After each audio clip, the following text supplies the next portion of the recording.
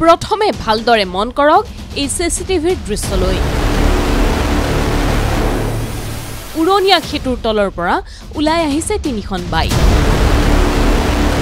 প্ৰতিখন বাইকত দুজনকৈ অচিনাক্ত লোক।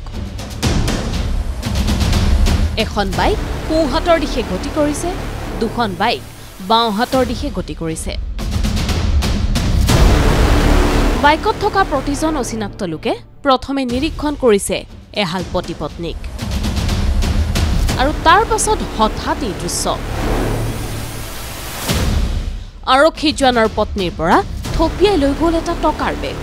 আৰু হঠাৎ মাটিত বাগৰি পৰিছে আৰক্ষী জোৱান বিপিন চেতিয়াৰ পত্নী। এইটো এতিয়া বাইক লৈ আহা বুলি ক'লে তাৰপিছত আৰু মাইকী মানুহজনী মানে পইচা লৈ আহিছিলে এনেকৈ বেগটো টান মাৰি পেলাই পেলাই কিনে সিহঁতে বেগটো লৈ গুচি গৈছে। লৈ গুচি গৈছে। কিমান পইচা আছিল কিবা গম পাইছে এতিয়া সাত লাখ টকা বুলি গম পাইছোঁ। এইখিনি সাত লাখ টকা। এইখিনিতে হৈছিল? অঁ এইখিনিতে হৈছে।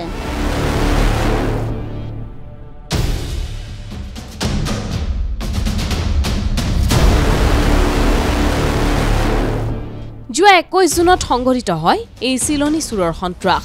ভঙাগড় উৰণীয়া সেতুৰ কাষত থকা য়েছ বেংকত টকা থবলৈ আহোঁতেই সংঘটিত হয় এই ঘটনাটো।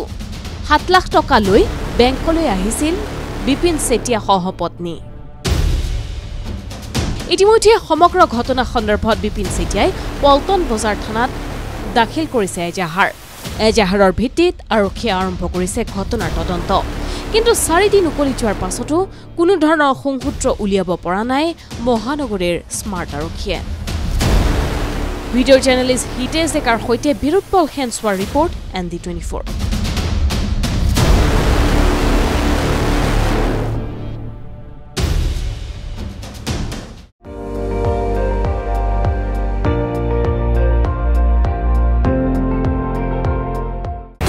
আপুনি চাই আছে এন ডি টুৱেণ্টি ফ'ৰ। সৰ্বশ্ৰেষ্ঠ নহয় সৰ্বোত্তমৰ দৌৰত।